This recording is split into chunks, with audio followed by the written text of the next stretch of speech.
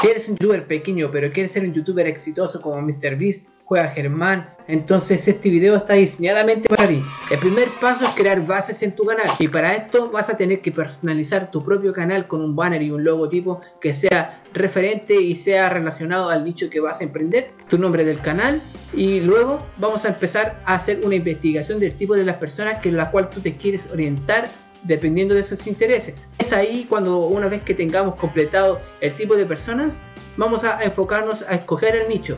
Esto nos va a ayudar a tener una audiencia comprometida con un tipo de contenido en específico, que por ejemplo puedas hacer un nicho de entretenimiento, de blogs, de viajes, de gaming. En el paso número 2 está la investigación de los referentes. Nos vamos a basar en el referente del nicho a la cual nosotros vamos a emprender y vamos a buscar los videos que sean más llamativos dentro de los últimos dos meses, ya que si nos enfocamos en cuáles videos nos van a gustar a nosotros, lo más probable es que cuando tú crees un video sobre eso, las personas se van a fijar en lo mismo.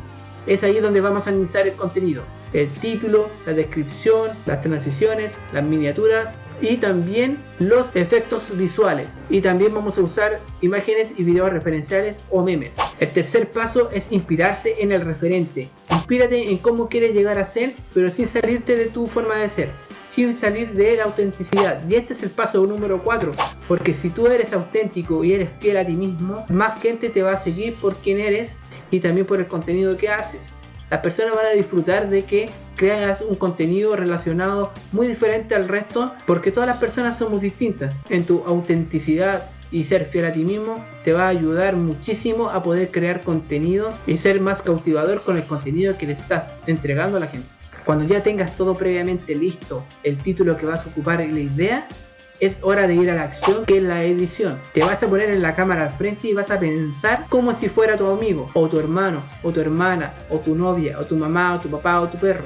Y a esta persona le vamos a explicar como que si esa persona no supiera nada. Vamos a seguir estructurando siempre con un guion en mano, pero tenemos dos opciones de hacer un guion. La primera forma es crear un guion de pie a cabeza. Entonces esto nos va a ayudar a explicarnos tal cual como queremos y dándole énfasis en las palabras que sean más importantes y relevantes para la edición, considerando que esta opción puede ser usada con un teleprompter que está dentro de la aplicación de CapCut y te va a ayudar a hablar y verte a la cámara al mismo tiempo. Y la segunda forma es crear puntos clave dentro del desarrollo hacer la introducción lo más corto posible y preciso, yendo directo al grano con el contenido que quieres entregar y una conclusión bastante corta. Así que mientras te enfoques que estás hablando con tu amigo y un guion que esté bastante estructurado, tanto por conceptos, estos conceptos nos van a ayudar a explicarnos a nosotros mismos si tenemos buena labia. Así que relájate, sonríe, piensa que estás pasando por un lindo proceso, porque pasar por esta etapa es lo más bonito que puedes hacer y te va a ayudar a conseguir experiencia que ningún otro lado vas a conseguir. Y cuando tengas listo el video, ponte a editarlo con textos, miniaturas y cuando tengas listo la grabación tienes que cortar lo que no te sirve. Y así vas a tener una edición muchísimo mejor que el video anterior. Considerando siempre quitar los espacios pasivos y quitar las muletillas ya que esto no puede afectar a la retención quitando también como el E, el O, el, M, el A, el M, todo quítalo nosotros los vamos a adaptar al formato vertical para poder compartirlo en otras redes sociales tales como TikTok, en los YouTube, en grupos de Facebook y en Instagram Reels. Paso 6. Programar tus videos y publicarlos. Tienes que programarlos siempre una vez a la semana para empezar.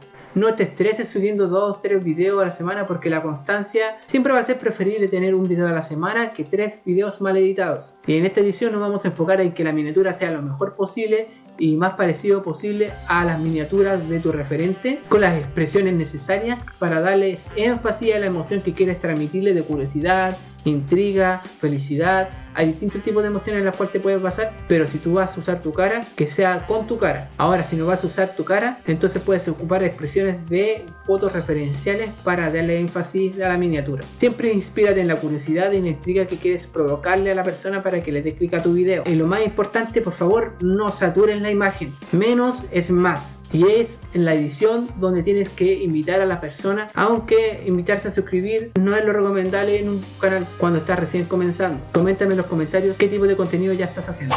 Busca grupos de Facebook que tengan relación con tu nicho. Peor que puedes hacer es pedir sub por sub. Y a eso vamos cuando ya tengamos publicado en Instagram, en TikTok y en YouTube. Vamos a analizarlo. Cuando tu video tiene una retención en las vistas, en la tasa de clics, si es que el valor es sobre 5.8 cuando es menor a 5.8 y tienes muy pocas vistas es porque tienes que mejorar el título o la miniatura. Cuando estás sobre 6 significa que estás teniendo un buen rendimiento en tu propio video. Y el segundo punto a analizar es la tasa de promedio de reproducciones. Si la retención es sobre 50 significa que estás teniendo un buen video, pero si es sobre 60 es excelente el video.